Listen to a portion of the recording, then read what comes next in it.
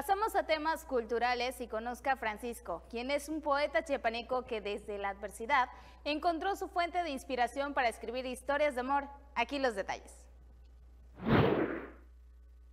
Al platicar con don Francisco, contagia su amor por las letras. Es contador público de profesión, pero se ha dedicado a escribir desde la adolescencia, principalmente poemas. Poemas. Aquí en el celular tengo como 300.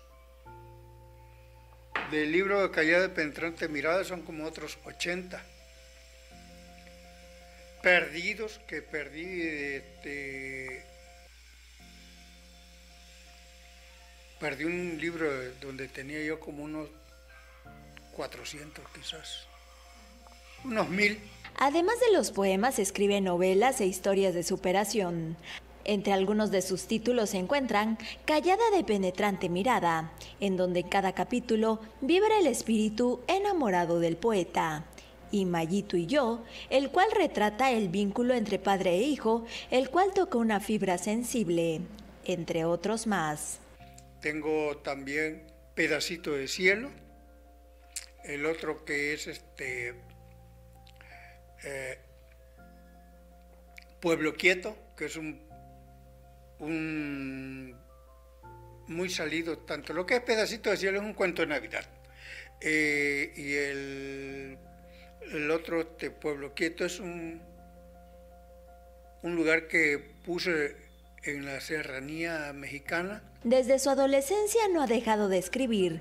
Tiene registros de sus obras que lo califican como autor. Su vida ha sido difícil luego de haber contraído diabetes.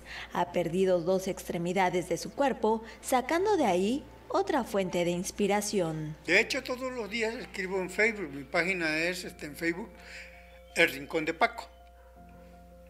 Ahí el Rincón de Paco, ahí... Eh, pongo mm, sobre todo de historias, pongo, me gusta escribir mucho acerca de, de superación personal.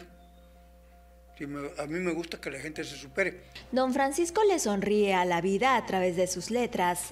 A pesar de no contar con ambas piernas, busca incidir en la sociedad a través de sus redes sociales, donde comparte un poco de sus vivencias. Su situación le impide poder trabajar, por lo que ahora vende sus obras, la cual pueden consultarlos a través de su Facebook El Rincón de Paco. Con imágenes de Pedro Robles, Patricia Montesinos Núñez, Noti 13.